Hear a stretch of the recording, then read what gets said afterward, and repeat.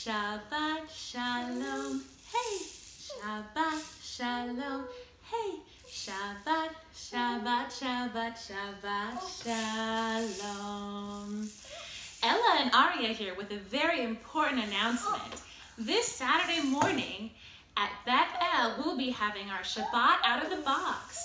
Beginning at 10.30, we will have Israeli dancing and a drum circle followed by Shabbat and Jewish meditation and yoga at 11.30.